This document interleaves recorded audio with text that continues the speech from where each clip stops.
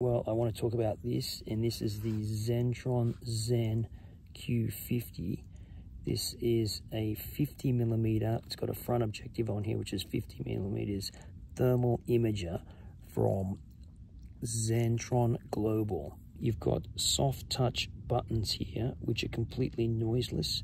These allow you to access the menu. The menus are very easy to navigate through. Okay, so not only can you access the menu uh, through these soft touch buttons and they're noiseless, of course, you can also access the menu uh, through the Z-Sync software. That's for Mac iOS on the iPhone or using the Zen Link app, uh, both downloaded from the App Store.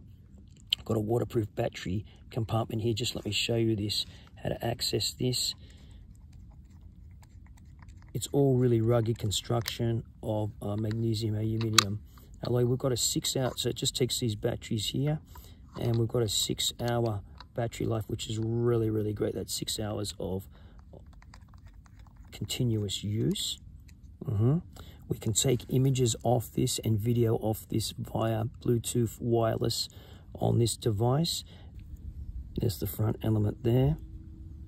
And this can turn any direction you want, which is great. Here we have a focusing knob and the closest focusing distance is 5 meters to infinity. It's very smooth and lovely operation.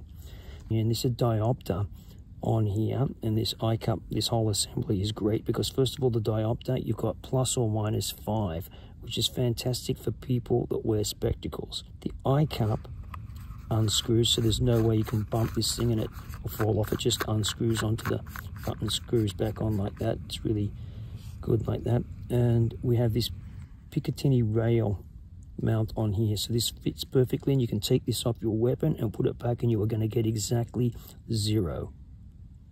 We also have a microphone here on the side of the unit. As I said, it's a really rugged, robust construction. Let's talk about the business end of things, and that's the imager in here. It's a VOx chip, okay? It's an uncool VOx chip, so it's uncool because you don't want any fan noises, those kinds of things like that. And this particular unit, the Zen Q50, has um, an NET-D um, value of its less than or equal to 20 millikelvins. So that's excellent sensitivity. That is totally excellent sensitivity. So yeah, there's nothing you can't see in the nighttime with this thing. The Zen Q50 from Zentron.